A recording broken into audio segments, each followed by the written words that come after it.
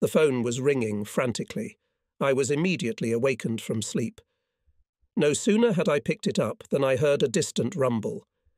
Hurricane gunfire, I thought. The officer on duty reported, An alarm, Mr. Colonel, immediately to the Chief of Staff. It was the beginning of the Soviet counter-offensive. On the calendar sheet it was November 19, 1942. I put on my tunic, pulled on my boots, and hurried to Schmidt's office. Many officers had already arrived there and were awakened, just like me. Chief of Staff Schmidt had already put the entire army on alert.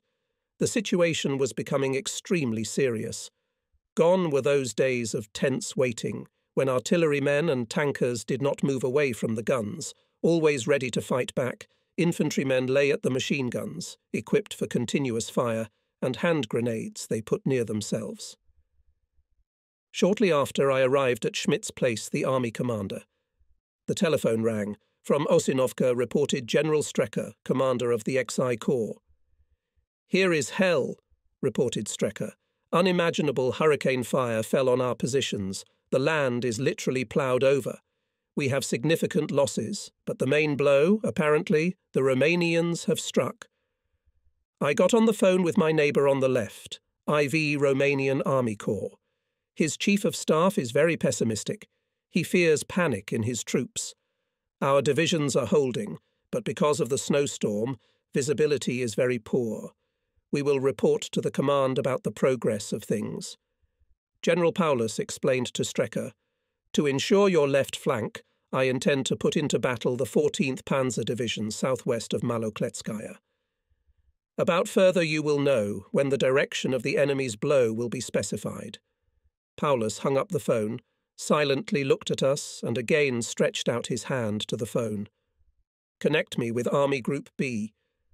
The officer of the operational department of the Army Group received the first report of the Sixth Army on the artillery preparation of the enemy. From that moment, the telephone in the office of the Chief of Staff rang almost non stop. Reports, requests, orders followed one after another prepared to withdraw from the city for a Sodintov tank corps. The General Staff was getting information about what was going on from its liaison officer with the Sixth Army on its own radio station.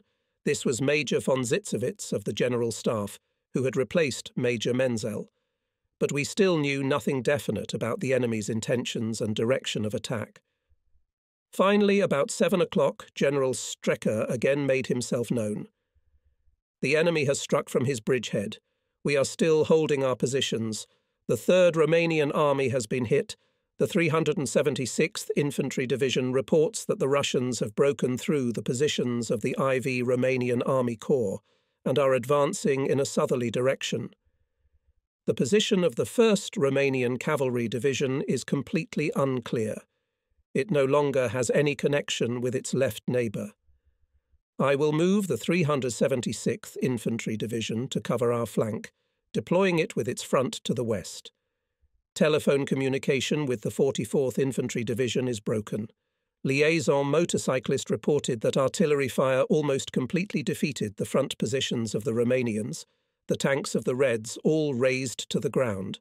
Paulus approved the transfer of the 376th Infantry Division to the cut-off positions, demanded to restore communication with the 14th Panzer Division and the 1st Romanian Cavalry Division, withdrawn to the east to subordinate to the XI Army Corps. From the headquarters of Army Group B, we learned that the Soviet artillery for many hours dropped thousands of tons of steel on the positions of the 3rd Romanian Army. Then, from the bridgehead at Kletskaya and Serafimovich, two strike armies broke through. The Romanians apparently defended courageously, but were crochet and turned to flight. At this time, Soviet armored formations, mechanized infantry units, and cavalry were advancing westward unstoppably. Neither German nor Romanian headquarters could not say where the forward units of the advancing enemy were. One thing was clear the Sixth Army was already posing a threat from the rear, my attempts to get an idea of the losses suffered by the XI Army Corps were also unsuccessful. The Corps adjutant informed me that communications had been almost constantly broken since early morning. he felt that very heavy losses in the 44th and 376th Infantry Divisions must be reckoned with. November 19th was spent by the officers of the Army headquarters in languid waiting. Then, every hour, more and more reports of disaster came in. Although by evening we still had no accurate idea of the extent of Soviet successes, it was clear to everyone that we were in mortal danger. About seven o'clock in the evening, I appeared with a report to Paulus. Slouching, he paced back and forth across the room. More often than usual, his face twitched nervously. He stopped in front of me. So, what I had been predicting for weeks had happened. Hitler did not want to recognize what was clear to any ordinary soldier, and Keitel and Jodl backed him up. For weeks we've been treated to empty phrases. Now it's up to us to restore order. In doing so, we still do not know whether we will be able to suspend the counter-offensive of the Red Army. I nodded silently, because I was tormented by the same thoughts. Excitedly, Paulus continued, We are threatened by a colossal danger. I see only one way out of the situation withdrawal to the southwest. It is necessary to act quickly. This was also my opinion, so I asked, Is it true that in this case the Army Command must seek the consent of the General Staff? After all, we are talking about 330,000 men precisely because it is a question of whether or not to be or not to be the entire Sixth Army. I, as you know, proposed to leave Stalingrad. That proposal was rejected. Still in force is the order that no Army Group Commander in Chief or Army Commander has the right to leave a settlement or even a trench without Hitler's authorization. Of course, this would paralyze the resolve of any army commander.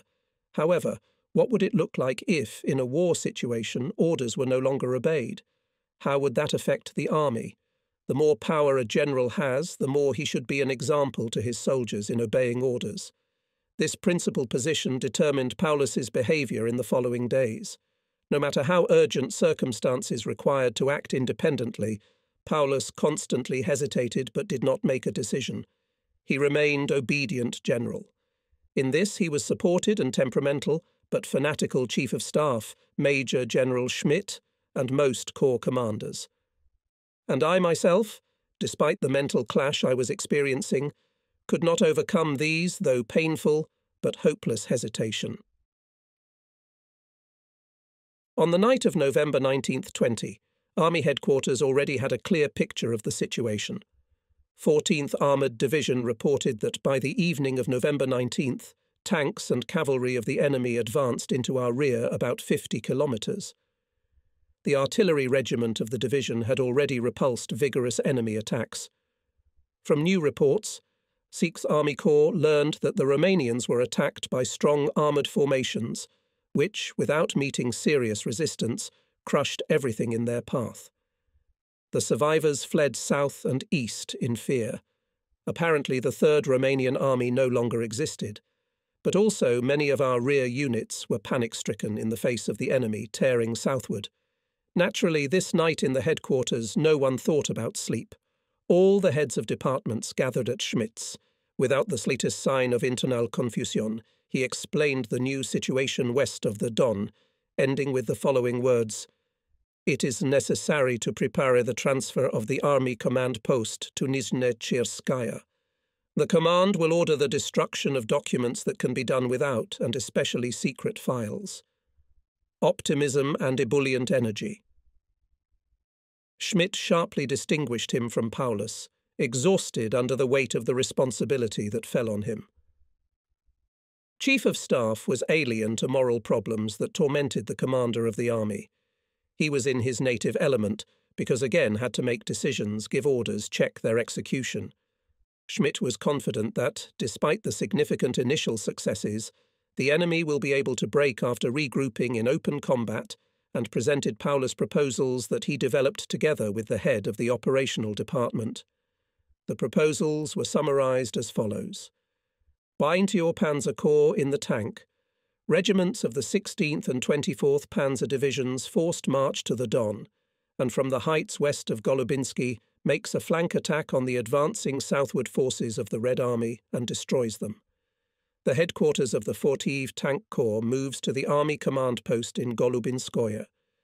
It will be subordinate to the 14th Panzer Division. The actions of assault groups in the city immediately cease.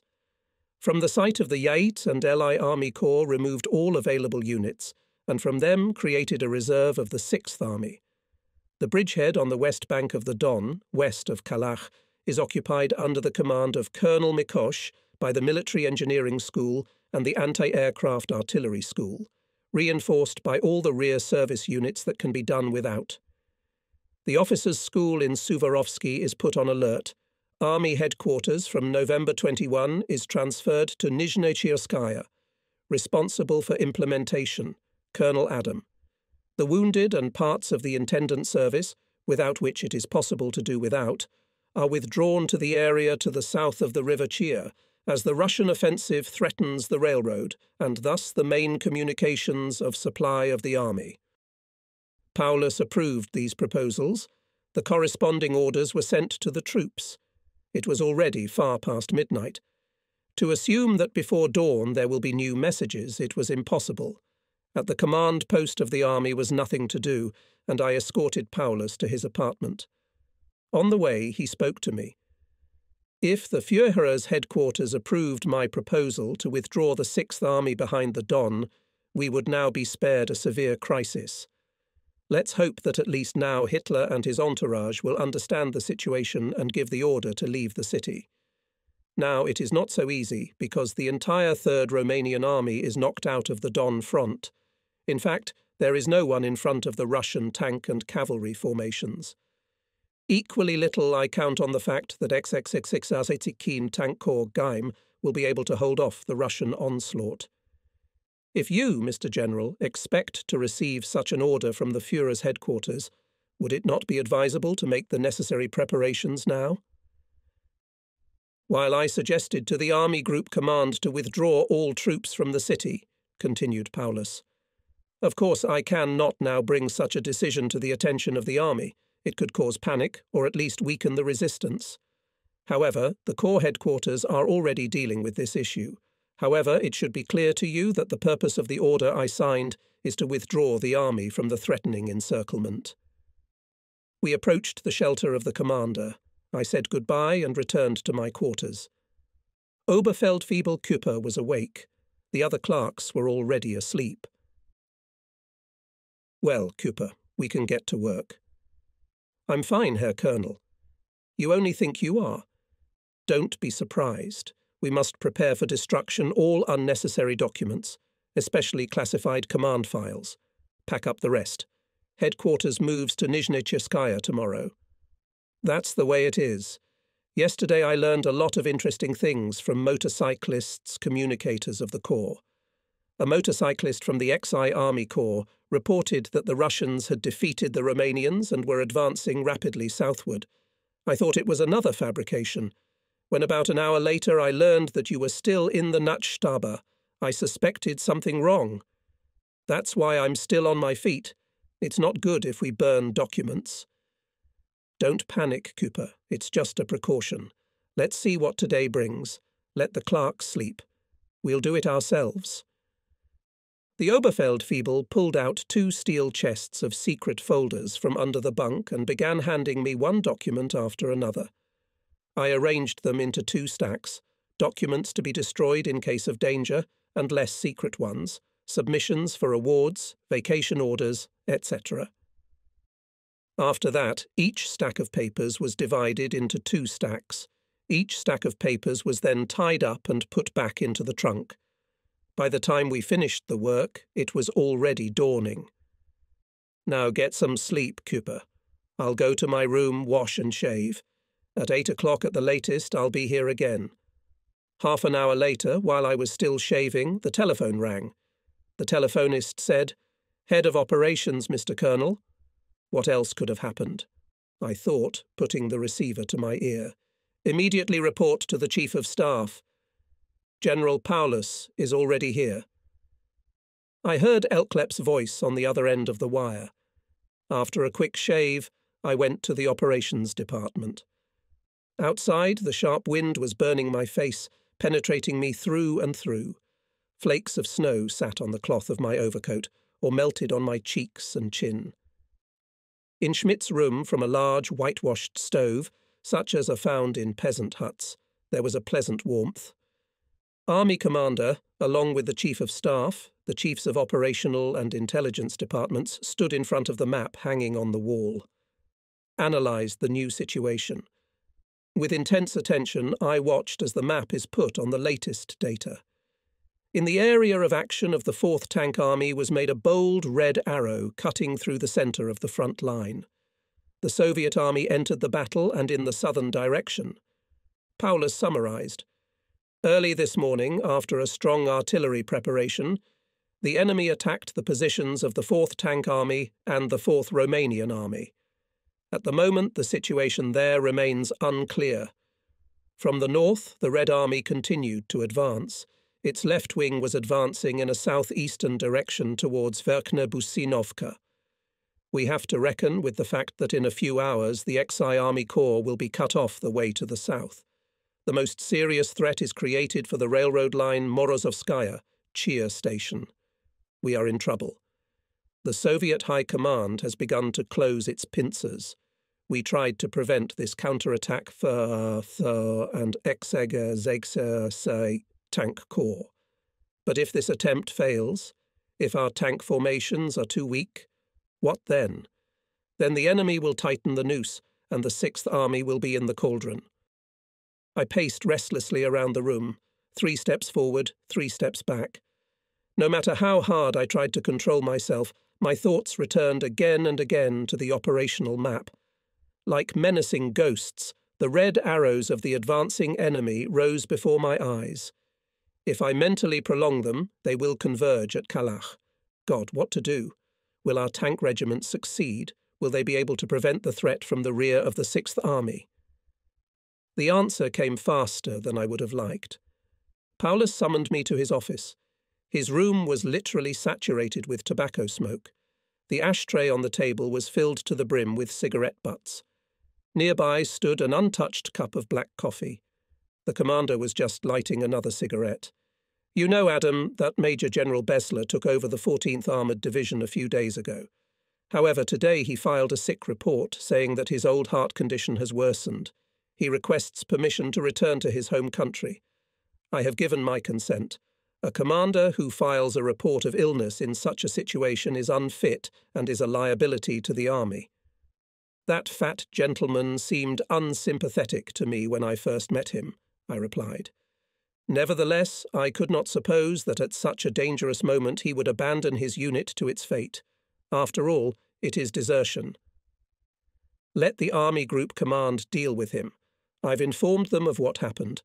General Besler was in a hurry. He'll probably be there soon.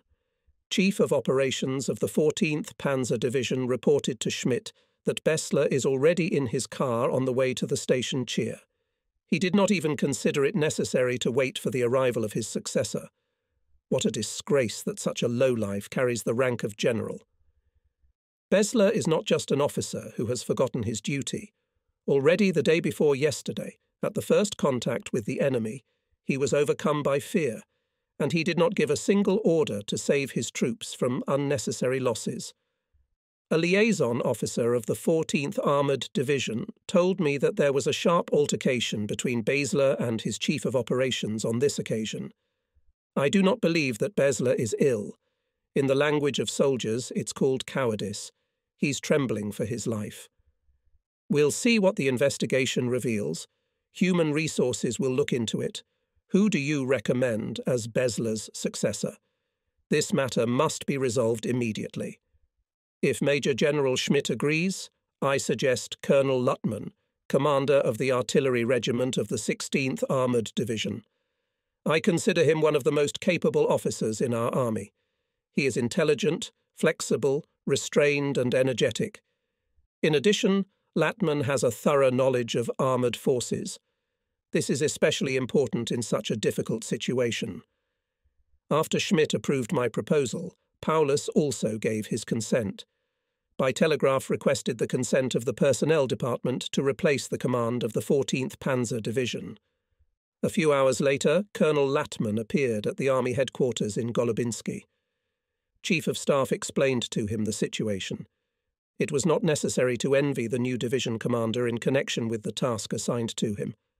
The 14th Tank Division had already suffered in previous battles heavy losses. Most importantly, the artillery regiment was literally defeated by enemy tanks. We experienced anxious days. There were all sorts of rumours. No one knew where they were coming from. No one knew what was true in them. Was it true that the enemy had cut off the way along the highway on the right bank of the Don to the Chir station? Is it true that he came to the railroad line Morozovskaya, Don, and that the 4th Tank Army was defeated? What measures took the general command of the army to eliminate the threat to the army from the rear? Where is the XXXXXX US Tank Corps? Did it go on the offensive? With what results? Our nerves were strained to the limit. Finally, in the evening of November 20th, we learned something about the state of affairs in our left neighbour, the 4th Tank Army. The enemy broke through the German defences from the south and was advancing to the Donator Army Group Command, allocated the 29th Motorized Division to close the gap, but it could not resist the Soviet onslaught. The IV Army Corps and the 20th Romanian Infantry Division retreated and now fought a front to the south. Nothing was known about the other Romanian divisions in the south. According to the latest reports, Soviet tanks had marched right up to the command post of the 4th Tank Army. What turn did the matter take? A gaping hole on our left flank, and now also on the right flank. The enemy has broken through our front, broken in several places. The forward units of his advancing troops were rapidly converging and we had no reserves to prevent a deadly threat. And yet the command of the Sixth Army and Army Group B obediently awaited the decision of the Supreme Commander in Chief. In the evening, finally, came the long awaited telegram. Breakthrough from the encirclement was not authorized. It was necessary to hold Stalingrad. This was the will of Hitler and the General Staff. Paulus, Schmidt, all of us that is, those who, occupying high command positions, had an idea of the catastrophic situation of the Sixth Army, experienced bitter disappointment. But we all obeyed. At night, Major General Schmidt reported to the heads of all departments about the latest developments, received new threatening news, confirmed that the Third Romanian Army completely defeated. The gap on our left flank increased, the XI Army Corps and the 14th Panzer Division were bleeding in defensive battles. The 4th Panzer Army was dissected, its headquarters fled to the west. The rear services of all units fled, pursued by Soviet tank wedges. How soon could the enemy be at Golubinsky? Because of such a problem, and thus a real threat to the Army command post, there was an urgent need to move it to another location. In Golubinsky, the Army command was no longer safe. Therefore, Schmidt, in consultation with Paulus, scheduled the relocation of the command post for November 21st. Before dawn, stacks of secret files and unnecessary documents were burned on the fires. But even now, the Red Army did not leave us alone. Suddenly, several headquarters trucks rushed into the village. They were supposed to take the road along the right bank of the Don through the Station Chir to Nizhny However, after driving a few kilometres away from Golubinsky, they allegedly ran into enemy units. We admitted that the Soviet troops were preparing all sorts of surprises for us, but this message we considered pure fantasy. Chief of Operations Colonel Elchlepp remarked, From fear they dreamed of ghosts, but they were not ghosts. Clarity brought immediately equipped Schmidt motorized reconnaissance under the command of an officer. Several light all-terrain vehicles and motorcycles with lights out and engines shut off were slowly moving southward. Not an hour later they returned, and the patrol commander reported that the red tanks are indeed standing on the right bank of the Don, no more than 20 kilometres south of Golubinsky. Thus, the shortest route to the new command post at Nizhny was cut off. In a vague mood, we reinforced the sentries. Several anti tank guns took up positions on the road running along the Don. It seemed that nature had turned against us. On the night of November 20th 21, The mercury in the thermometer dropped to minus 20 degrees. The snow shroud that had melted during the day turned into an icy crust. The road connecting Golubinsky with the highway running along the Don became as smooth as a mirror. It was scary to think that our heavy vehicles would have to climb this steep slope. But so far, it did not come to that. Paulus decided to organise between the Don and the Volga Advanced Command Post of the Army to ensure reliable and uninterrupted leadership of the troops. There were to be placed the heads of operational and intelligence departments and one quartermaster with the appropriate officers of communication and transportation. It was decided to locate this command post west of Gumrak, in the vicinity of the station. Early in the morning, General Huber, commander of the Fornitiv Tank Corps, arrived in Golubinsky with his staff. He reported that the tank units of the 16th and 24th Panzer Divisions were withdrawn from the front and in the afternoon or evening will go to the Don. This news pleased us all. To Huber in the headquarters treated with great respect. After all, it was he, once in August, broke through the enemy front from the Don to the Volga with his 16th Panzer Division.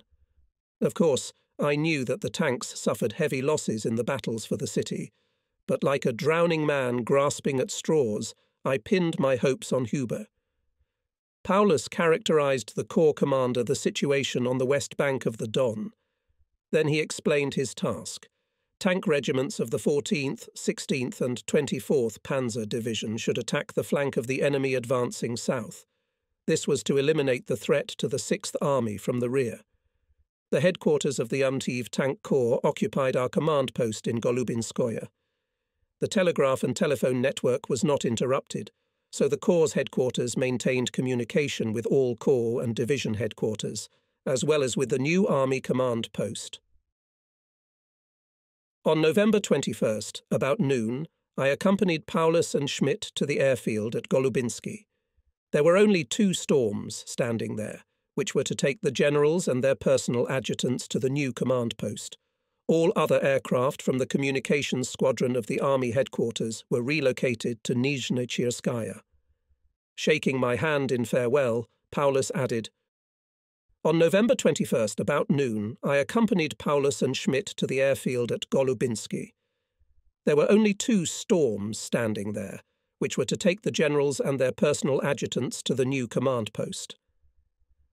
All other aircraft from the communications squadron of the Army headquarters were relocated to Nizhny Shaking my hand in farewell, Paulus added, Get on the road immediately.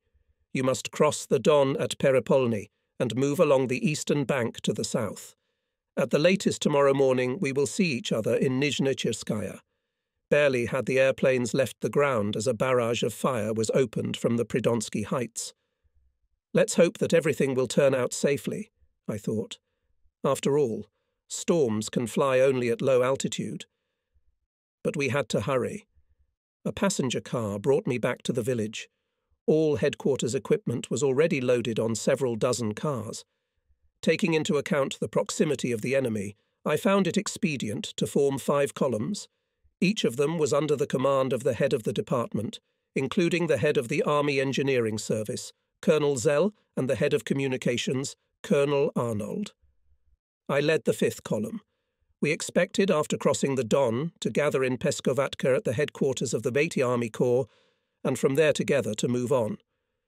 With difficulty, we climbed up the icy road on the steep bank. Sometimes drivers and teams had to help each other. Eventually, all the cars made it up the climb. At first, the highway on the high bank of the Don was almost empty. We were moving forward quickly, but as we approached the bridge in Perepolnoye, we moved slower and slower. More and more often the way was blocked by overturned cars and wagons. Boxes of all kinds and sizes were lying in the middle of the road, and we were forced to go around them. Rifles, steel helmets, as well as a few broken guns and even two or three tanks with Wehrmacht insignia, marked the path of retreat of the Romanian and German formations. Everything here spoke of flight. Cars from the west were entering the highway. They were trying to drive onto it wherever there was even the slightest gap between the cars on the highway, so that it was almost impossible to maintain the formation of one's own column. Closer to the bridge, the disorder threatened to turn into chaos. Night had fallen. With extinguished headlights, our cars slowly moved at second speed. Suddenly there was shouting and swearing on the road. Then everything came to a halt. Getting out of the car to find out the cause of the jam, I met Colonel Zell. He had set out with his convoy half an hour ahead of me. I assumed he was already on the east bank. Zell, with his companion Captain Gottsman, was trying to clear the jam. It wasn't easy because the 16th Panzer Division was moving toward us. Its steel giants were crossing the Don from east to west to occupy the initial area specified by the Army Command. The immediate cause of the traffic jam was a tank that stalled on a completely icy road and got in the way. Zell was only a short distance from this point. Captain Gottsman was just getting out of his car when the next tank came up, which also stalled. The captain's foot was caught under the track, and he was wounded so badly that he died shortly afterward. After this incident, we moved slowly onward across the ice. It was not until many hours later that we got all the vehicles across the bridge. After a short rest at the headquarters of the Véti Army Corps, after waiting for all the columns to assemble, we moved south along the eastern bank of the Don. The steppe was covered with freshly fallen snow. It also covered the roads so that the columns had to move forward by compass. About five o'clock in the morning of November 22nd, we passed through Kalach. With the exception of a few guard posts, everything was plunged into a deep sleep, as if the enemy were very far away. In a village a little farther to the southeast, where the Army Supply Office was located, there was still a profound silence. Utterly frozen, we rested there for an hour, enjoying the warmth of the room, hot coffee, and, as a special treat, freshly baked bread. I ordered the Oberquartermeister to be awakened. It turned out that he was completely unaware of what a dangerous situation had developed, now he had sounded the alarm and was preparing to redeploy. But that was easier said than done. Thousands of tons of transports were needed to carry food supplies, uniforms, and field mail. Two days later, I learned that much had to be destroyed. From the Army Supply Department to the bridge over the Don at Nizhne Chirskaya was no longer a short distance. But what we experienced now surpassed everything that had gone before a terrible picture. Eh? Driven by fear of the Soviet tanks, trucks, cars, staff cars, motorcycles, horsemen, and goose stepping vehicles were rushing westward. They ran over each other, got stuck, overturned, clogged the road. Pedestrians scrambled, trampled, squeezed, scrambled between them. Those who stumbled and fell to the ground could not get up on their feet. They were trampled, run over, crushed. In a feverish effort to save their own lives, people threw everything that prevented a hasty escape, threw weapons and equipment, cars fully loaded with ammunition, field kitchens and supply wagons, stood motionless on the road. After all, it was possible to move forward faster on harnessed horses. Wild chaos reigned in Verkhnechirskaya. The fugitives from the 4th Tank Army were joined by soldiers and officers of the 3rd Romanian Army, and the rear services of the XI Army Corps moving from the north. All of them, gripped by panic and stupor, were similar to each other. All fled to Nizhne Chirskaya. On November 22nd, about nine o'clock, I arrived with the last columns in Nizhne Chirskaya and reported to Paulus that the order to move the command post was carried out. He was just sitting with Colonel General Goth, commander of the 4th Tank Army. Both commanders and several officers from their headquarters were discussing the situation. Soon I was to reappear in the room where the meeting was held. A radiogram had been received from Hitler, which I passed on to Paulus. He read aloud a brief text. Goth with his staff was withdrawn for other assignments. Paulus and Schmidt was ordered to fly immediately to the limits of the forming cauldron and place the command post of the army near the station Gumrak. On all faces reflected amazement. If Goth, apparently, was pleased that he was spared from solving complex issues, Paulus and Schmidt deeply thought, This is not surprising. After all, the high command in the created catastrophic situation entrusted to them a huge responsibility. Again received new alarming news. Fortiul Panzer Corps under the command of General Huber, which was to suspend the enemy's advance attacking his flank, was almost completely without fuel. There was no time to think about the offensive. The Corps could not hold its positions, and the enemy pressed it to the east of the Don, as well as the Exai Army Corps. The strategically important bridge across the Don at Kalach was surrendered without a fight. The road to the south, the intended route of retreat of the Sixth Army, was mostly in the hands of the enemy. Only a few kilometres separated his advanced detachments from Kalach. There were no forces capable of stopping him. We had to reckon with the fact that the cauldron would close during this day. Good luck in battle, Colonel General Goth wished General Paulus goodbye. This was a more than dubious wish in this cursed situation. Fieseler Storch was already waiting for Paulus and Schmidt. Just before leaving, the commander called me to him. We must part, Adam. I don't know when we'll see each other again. As senior officer, you'll be in charge of headquarters. As soon as the Red Army reaches the lower reaches of the Chir River, move the headquarters through Tormosin to Morozovskaya and combine it with the rear office of the army, which has already left there. I escorted Paulus and Schmidt to the airfield, which was on the outskirts of the city. We silently said goodbye, and they boarded the plane. The propellers shrieked, full gear was engaged. The airplanes rolled, got off the ground, flew east, crossed the Don, and quickly disappeared behind the opposite wooded bank. It took more than an hour to drive five or six kilometres to my headquarters.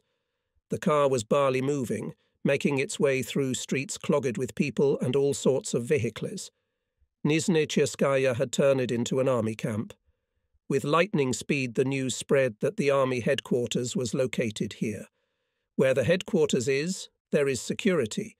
That's what thousands of soldiers thought and stayed in the small Cossack town on the Chir River. In the evening, I contacted the commandant of the Chir station by phone. What do you know about the enemy? Where are his advanced units? Unfortunately, I can't tell you that, Mr. Colonel. There are only a few men left with me. The rest have retreated with loaded vehicles. There are still several hundred tons of food, equipment, and fuel stored here. I don't know how I can get them out of here. I don't have enough vehicles. There are hundreds of trucks stuck here. I'll try to get some of it to you. Keep in touch with me under any circumstances. If anything new happens, let me know immediately.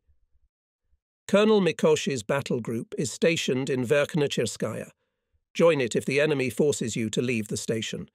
But be sure to take with you all your weapons, all your machine guns. Hardly had I hung up the receiver when the telephone rang again. I was glad to hear Paulus's voice. We've landed safely. How are you doing? The Chir station is still in our hands. In Lower Chir, thousands of cars are clogging the streets. But I'm surprised, Mr. General, that you and I can talk on the telephone. After all, the wire runs through an area that the Russians have already captured in many places. Maybe they haven't discovered it yet, or maybe they want to intercept conversations. Keep in touch with us by radio. Have a good day. The End. Colonel Abraham and Captain Goebel came to see me. They reported the arrival of the officers' school, which I had called to Nizhny Chirskaya. The telephone rang again. Colonel Winter, Chief of Operations of the headquarters of Army Group B, was interested in the situation on the lower reaches of the Chir River. From him, I also learned that in the area of Verkhny east of Morozovsk, no more German soldiers. This was extremely unpleasant. Something had to be done urgently. I proposed to form from the soldiers accumulated here a combat group to protect Nizhny and the bridgehead east of the Don at Verkhny The core of the group was to be the officers' school. Winter fully agreed. However, at night I could not do much. Therefore, I instructed Captain Goebel to send reinforced reconnaissance detachments in a northerly direction to the station Chir and northwest to the confluence of the Liski River into the Chir River, to establish communication with Colonel Mikosch and to organize the security of Nizhny The commandant of the city was ordered to assemble a convoy of trucks and send it to the Chir station. About 23 Hours Army Group again called me on the phone and transmitted the following order Prepare by the forces of combat defence groups bridgehead east of the Don and the railway line to ensure the Sixth Army after the abandonment of Stalingrad withdrawal in the southern direction. I breathed a sigh of relief. So, the Army Group Command still expected to receive an order from the General Command of Ground Forces to withdraw from the encirclement. Immediately, I called to my staff officers to discuss the measures for November 23rd. First of all, it was necessary to eliminate the traffic jam created by transportation on the streets of Nizhny Chirskaya. All the officers of the headquarters and the commandant's office of the city were sent to fulfill this task. At the same time, it was ordered to supply all the rear guard, soldiers and officers, except for drivers, with weapons and ammunition and send them to the assembly point near the school. There they would be divided into squads. At last there was silence. Deadly tired, I lay down on the mattress, but I could not sleep. The events of the last three days came back to life in my memory. In my heart I cursed Hitler and the General Staff. It was they who brought us to such a desperate situation because they brushed aside all the suggestions and warnings of the Army Command. The main condition for successful leadership of troops, the correct assessment of the enemy. The High Command violated this principle in the most irresponsible and thoughtless way, what in fact could be done now when the army is actually already surrounded. Only one thing to break through to the southwest. In the meantime, it is necessary to hold the bridgehead across the Don east of Nizhny I firmly decided to use all forces to achieve this goal. The phone rang again, the head of the operational department of the Army Group demanded data on the situation on the lower Chir. No changes so far, I replied. And how are things in other parts of our army? XI Army and X85 Tank Corps are fighting, having in the rear of the Don Ivy Army Corps, relying on Stalingrad, repulses fierce attacks from the south. Arriving at the command post in Gumrak, Paulus consulted with all corps commanders with whom he was able to establish contact.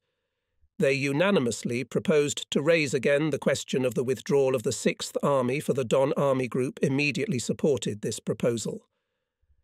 But we've just received a reply from Hitler's headquarters. Listen carefully. According to the Führer's order, the Sixth Army must under all circumstances hold Stalingrad and the front on the Volga.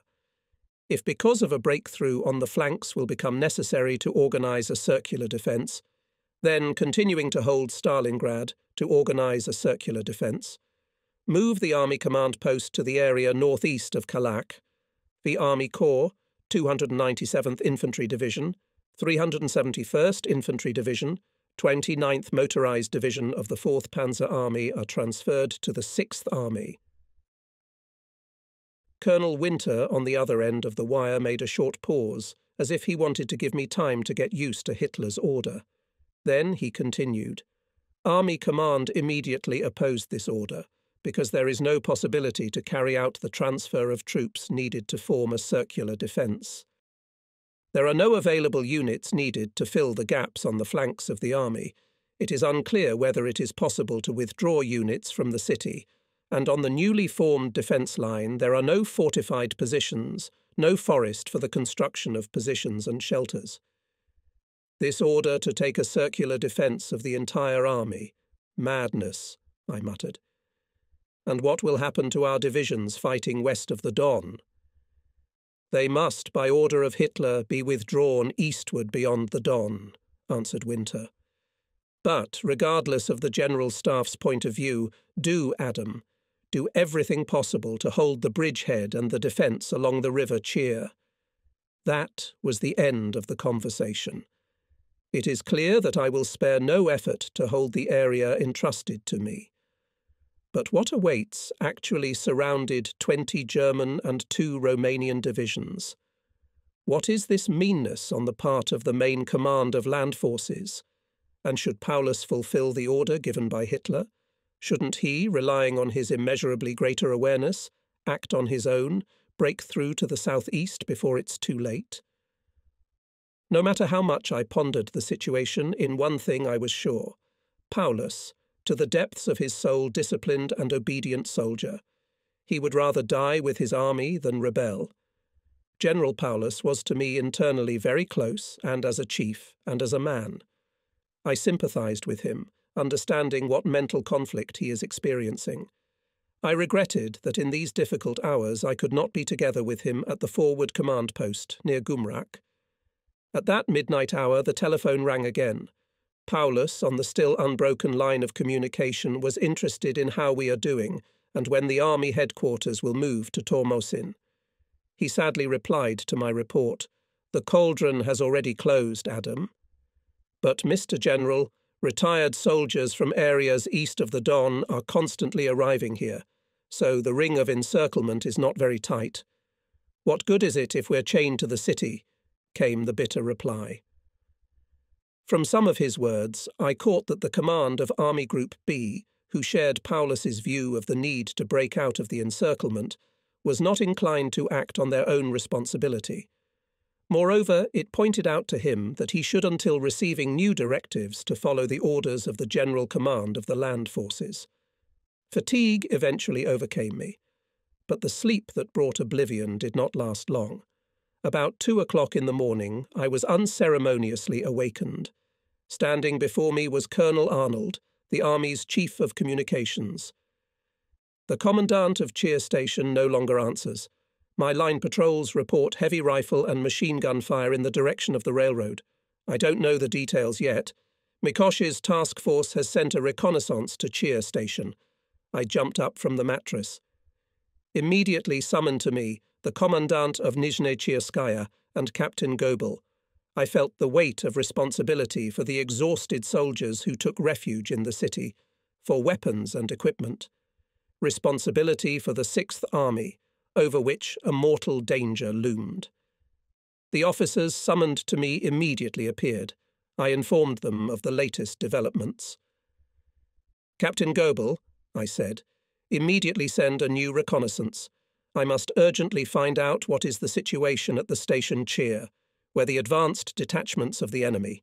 Inform our scouts that Task Force Mikosha is also scouting in the direction of the station Chir.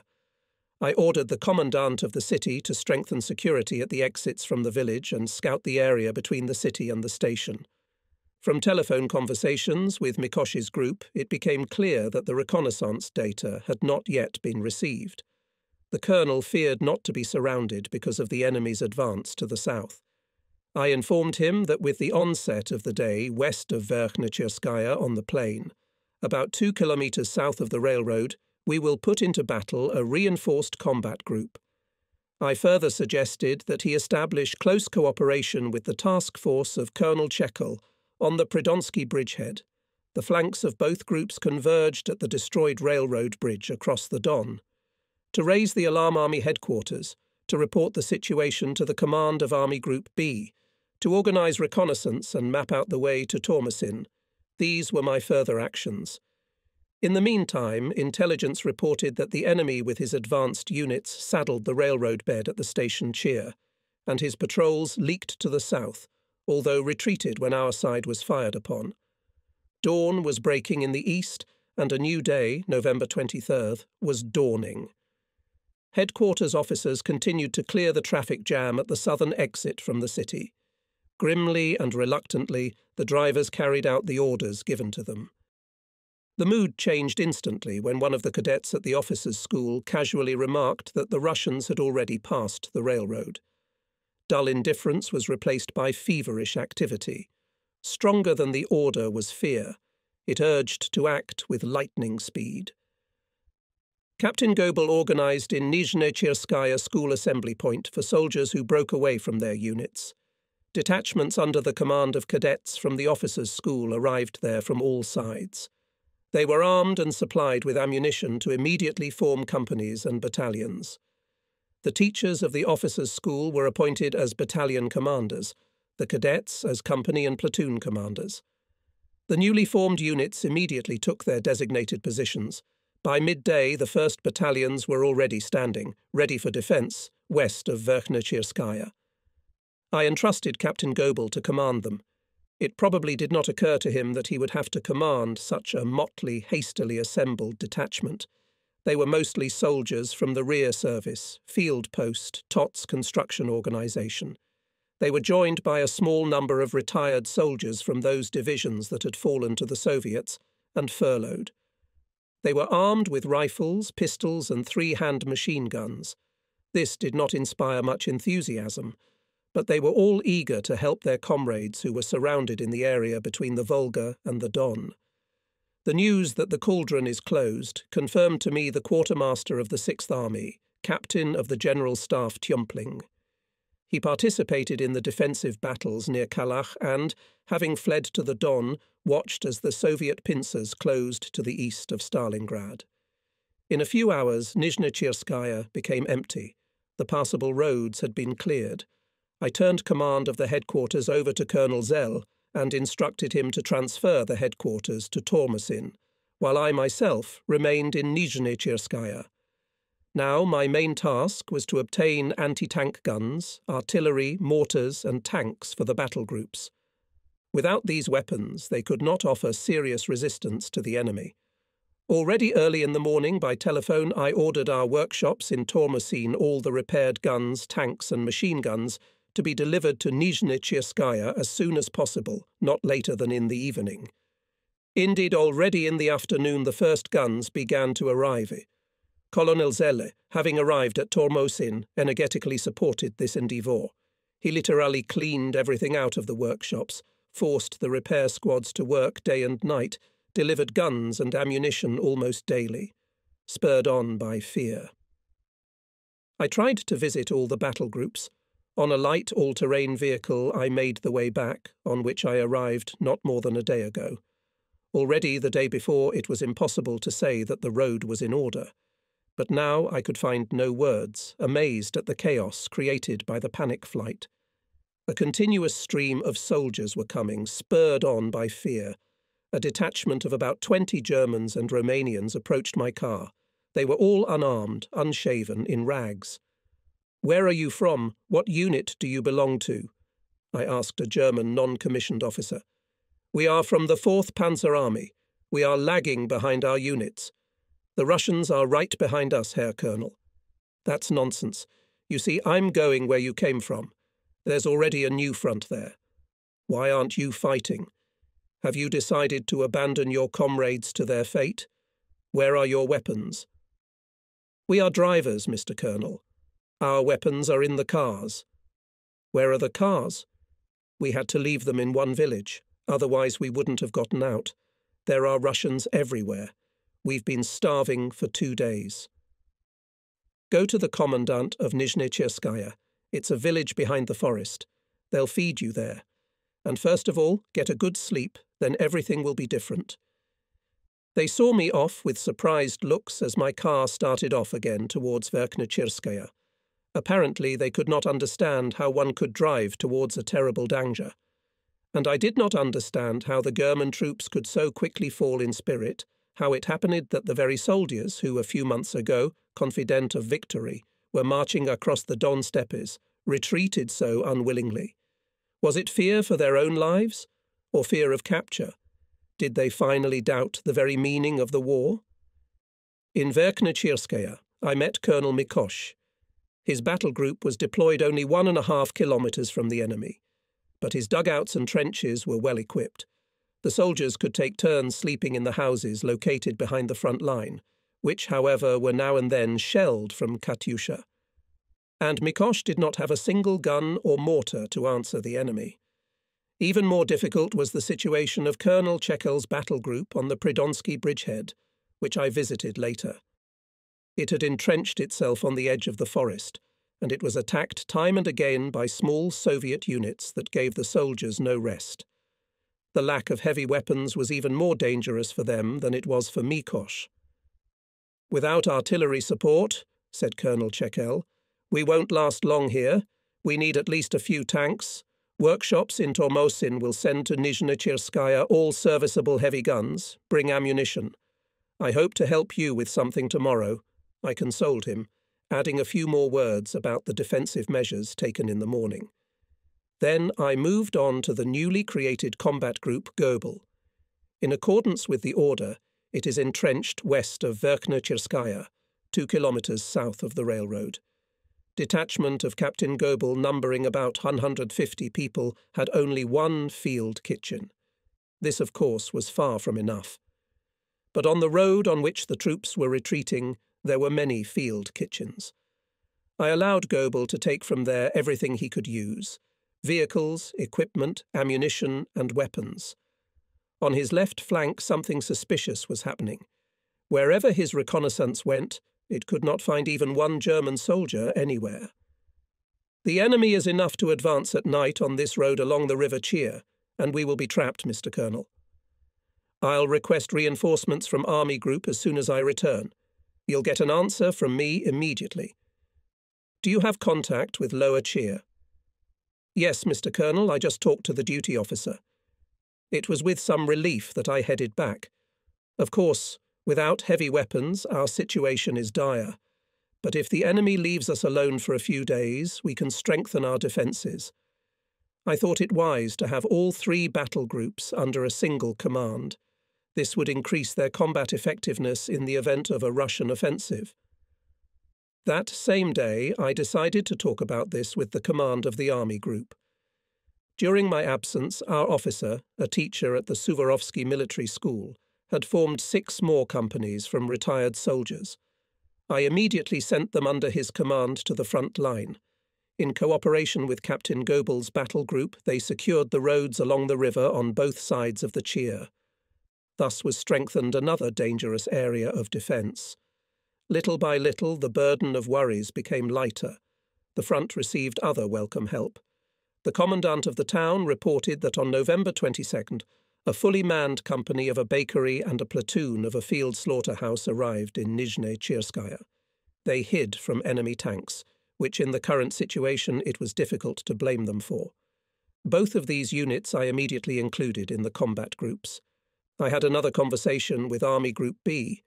The connection was established within a few minutes. Colonel Winter came to the machine. I reported to him that put into battle 18 companies west of Verkhnechirskaya, as well as other measures I took. So far, the enemy has not yet saddled the railroad going south.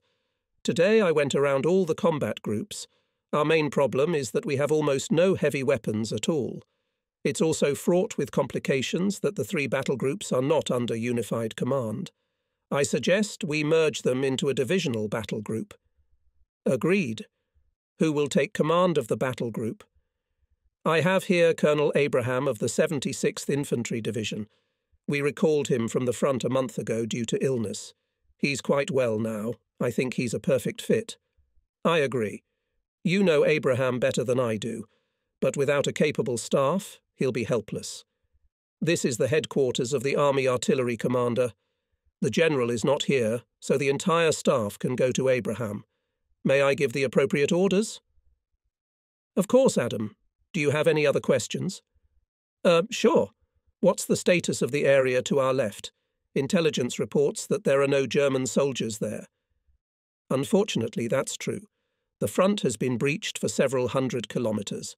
We don't yet know how to close this gigantic gap. If I have a division free somewhere, I'll deploy it to your left. Until then, we'll have to operate in battle groups formed from the remnants of retreating units. That's not a very good prospect. If we had at least anti tank vehicles with enough ammunition and a few dozen infantry officers. Most companies are commanded by non commissioned officers. I've taken your wishes into consideration. We'll help in any way we can. But you know it's hard to plug all the holes. By the way, where are you going to set up your command centre? It's dangerous to stay in Nizhny Today I moved our headquarters to Tormosin. Personally, I'm staying here until the situation at Chira and the Pridonsky bridgehead is stabilized. After this conversation, I called Colonel Abraham to me, informed him of the proposal to take command of the newly created divisional group and informed him that the Army Group headquarters approved this step. To my great amazement, he declined, citing illness. Rarely have I been so disappointed in my comrades as I was in Abraham. We demanded of the common soldiers that they give their last effort, but what was a career officer and regimental commander to do? He cited illness, although there were no signs of ill health during the last weeks of his stay at Suvorovsky. The behaviour of my old colleague I assessed as a fraud, and it made no difference that Abragam presented a doctor's certificate. Nevertheless, I had to reckon with him according to the rules. Without hesitation, I decided that I myself will take command of the battle group. General Paulus, with whom I, strangely enough, still maintained wire communication, approved of my decision. Provide me with a way to retreat, Adam, said Paulus. The general command of the land forces must authorize a breakthrough from the encirclement, if it has not finally gone mad. The command of Army Group B also gave its consent. Its operations department informed me that by order of General von Sodenstern, Chief of Staff of the Army Group, I report directly to the Army Group until new orders. I assembled the staff of the commander of the artillery of the army, distributed duties, gave a number of orders, ensuring a clear organisation of combat groups. Left alone again, for a few minutes I gave free rein to my thoughts. It was already dark. The electric lamp on the table was casting a light circle, touching with its outer edge the windows to the street, which were covered with a thick layer of ice. It was bitterly cold, Already in the afternoon, the thermometer showed 15 degrees below zero. At night, the frost could reach 25 degrees, and the troops were at the positions without winter uniforms, in the steppe under the penetrating, icy wind. Was there any sense at all with such a hastily assembled detachment, without anti tank means, without artillery, without mortars, without tanks, without even a sufficient number of machine guns to try to create a defensive line? which in its current state would be broken through by any strong enemy attack. Didn't that mean the senseless sacrifice of soldiers? But I remembered my last telephone conversation with Paulus. Provide me with a path of retreat, Adam. Yes, I must do everything in my power to preserve this opportunity for the 22 divisions caught in the cauldron. It is now my highest duty, it is an urgent task. It is a matter of life and death for nearly a quarter of a million men trapped in the cauldron. I am responsible for them. Therefore, putting aside all doubts, we must concentrate all forces to ensure the defence of the battle groups. Strengthened after an agonizing internal struggle in my decision, it was as if I gave a boost to the forces outside. The staff officer reported to me the arrival of heavy weapons from Tormosin, two 88mm anti aircraft guns, four 105mm howitzers, and four 55mm anti tank guns. The next day the tanks were to arrive. My mood rose. If we are supported and the army group, we will stop the enemy. On the night of November 24th, Captain Goebel reported on the lively activity of Soviet intelligence. In the following days, the enemy attacked us several times with small forces. Undoubtedly, he probed the strength of our defences.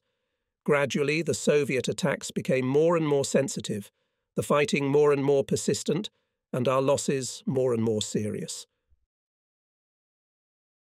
Soon after the beginning of the Red Army counter-offensive, the General Command of Land Forces carried out a number of organisational measures in relation to the troops fighting on the Don and in Stalingrad.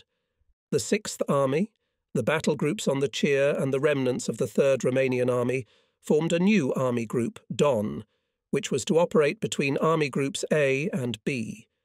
The commander of Army Group Don on November 28th was appointed Field Marshal General von Manstein. My battle group was subordinated to XX Exivit Tank Corps, the headquarters of which was transferred to Tormosin. This corps, under the command of Lieutenant General Heim, to the beginning of the offensive, was in the rear of the Third Romanian Army and had to stop the enemy offensive. General Paulus has repeatedly told me that he considers this one of the most dangerous illusions of the general command of the land forces. And indeed, disaster broke out. Both significantly weakened divisions of Heim were surrounded. With the small remnants of his troops, he managed to make his way west.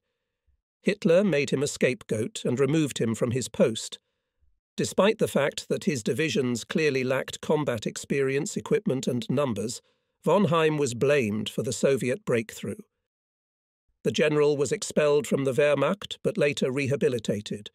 He was succeeded by General von Knobelsdorff of the Panzer Forces, who arrived at Tormosin on December 1st. These organisational changes and rearrangements of commanders alone, of course, could not improve the situation in dangerous areas. On the entire Chira front, from the mouth of the river to its headwaters, the situation was gradually becoming catastrophic. It would be enough for the enemy to attack with larger forces, and our battle groups would not be able to resist the onslaught. The Soviet troops were getting deeper and deeper into various sections of our defences.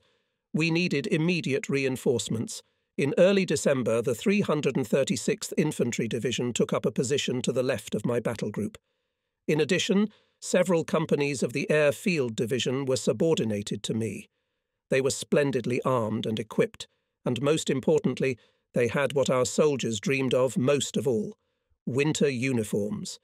It is understandable that the mood of my infantrymen could not improve when they saw all these piles of fur coats, fur vests, fur hats, felt boots, winter warm mittens, cotton camouflage suits, which were supplied to the soldiers of the Air Force, which was under the patronage of Goering. To top it all off, they were also scandalized in combat. Most of the officers were arrogant, although they did not have the slightest idea about combat infantry. During these days, General von Knobelsdorff visited me in Lower Tverskoy. He confirmed what I already knew from rumours. In the area of Kotelniki, east of the Don, was preparing to strike a new 4th Panzer Army under the command of Colonel General Gotha. In the coming days, it was to break through the encirclement ring and deploy an offensive on a broad front. At the same time, the army group under the command of General Infantry Hollidt had to from the area west of the headwaters of the Chir to attack the flank of the enemy advancing to the south. XXXX Panzer Corps, under the command of General von Knobelsdorff, together with the newly arrived 11th Panzer Division, and still expected compounds were to advance from the bridgehead east of Nizhny The Corps commander received from us detailed information about the situation on the Pridonsky bridgehead and the location of enemy troops. The appearance of German tanks in close proximity to us caused a huge upsurge among soldiers and officers. For many days they fought bloody battles, suffering heavy losses, holding in the most difficult conditions defensive line against a strong, stubborn, and courageously fighting enemy. Many of my soldiers and officers had friends and relatives in the cauldron. They considered it a duty of honour to contribute to their liberation. Nevertheless, the troops were extremely exhausted, surrendering physically and morally. It was inevitable. No less influential was the leak of information about the persistence with which Hitler and the general command of the army rejected all reasonable proposals to break through the cauldron from within. Why are we here on the banks of the Volga, Mr. Colonel? Every day I was on the front line. Often I was asked, why should we take these positions at all if the army is to remain in the cauldron? More and more often I talked to an elderly soldier, a participant in the battles of the last year of the First World War. One day he said to me, Mr. Colonel, I do not understand why. In fact, we are here on the Don and on the Volga. I think that if I am killed today or tomorrow, my wife and children will not even know why I fought here. To tell the truth, I don't know it myself. It was immediately clear to me that this is a serious matter. If this kind of sentiment spreads, we will disarm. That is something I must resist. I have tried to do so in the following words Think only of our compatriots who are surrounded. If we do not hold this bridgehead, if we surrender the defensive line along the Chir, our main front will have to be pulled back many kilometres. Then we will not have to think about restoring communication with our units in the cauldron. Now we are fighting to save the lives of 330,000 of our comrades. My interlocutor was silent. After a short pause, I said, I do not know the intentions of the High Command. But in any case, one thing is clear we cannot sit idly by. This is war. As soldiers, we must do our duty. Deep down, I felt awkward giving that answer. It evaded the essence of the question the soldier asked. Why did we even end up here, on the banks of the Don and Chir? Why did we strive to take Stalingrad? For the sake of what and here, and in this cauldron everyday Killed or Kripled, starving and freezing hundreds, thousands of people. From this main problem, I tried to distract my interlocutor with my speeches, but it was not an answer. These questions tormented me too, no matter how hard I tried to dismiss them. However, they did not overpower me completely, did not push me to any conclusions. Tradition, sense of duty, sympathy for my comrades in the boiler, all this overrode the voice of reason. In addition, in our immediate vicinity, intensive preparations for a deblocking strike had begun. This gave us hope, caused an elevated mood. Maybe within a fortnight we would get through the trouble. After December always comes May, 51. These were the words of a soldier's song, which, however, we have no one sings, but which is almost daily broadcast on the radio. All feverishly awaited the day when the deblocking army will strike. In the meantime, may still loomed in the undreachable distance. We had only the beginning of December in the truest sense of the word, and things were proceeding accordingly. After the 336th Infantry Division took up positions on our left, strong Soviet units struck at its section. The division was pushed back. This posed a threat to our left flank. True, the 11th Panzer Division restored the position. But in the meantime, flames broke out elsewhere, and it too had to be extinguished by the 11th Armoured Division. It really turned into a front-line fire department, which rushed to where the thin thread of our defence was threatening to break under the enemy's onslaught. However, in these day and night manoeuvre battles, she also suffered greatly. In our area, we no longer saw it, although we were in dire need of tank support in view of the ever increasing attacks of the enemy. Things were bad at the Pridonsky bridgehead. It was getting narrower and narrower. It was felt that soon it would have to be cleared. All this once again significantly worsened the mood. If a few days ago the arrival of our tanks contributed to the uplift of spirits, now the mood fell faster than ever. It had become commonplace for soldiers to leave their positions without authorization. Refusal to obey was reported to us. The fear of being taken prisoner gripped everyone. The officers, too, were anxious to get out of the trap as soon as possible. In the meantime, wire communication with the cauldron had been cut off. But radio messages were coming in continuously. Major General Schmidt called from headquarters officers and clerks. They flew from Morozovsk to the boiler on the airplanes that provided it with supplies. One of the Nachstab's radiograms read, The commander of the communications regiment of the Sixth Army Colonel Schrader immediately fly to the boiler. He must replace the sick chief of communications of the army. Since our headquarters had in the meantime moved from Tormosin to Morozovsk, I passed the radiogram there to the chief quartermaster of the army. Not an hour later, it was reported from there that Colonel Schrader was ill. This was the third time in two weeks that a senior officer of the Sixth Army had essentially deserted. Major General Schmidt, the Chief of Staff, demanded that Colonel Schrader be court martialed. How that ended, I never learned.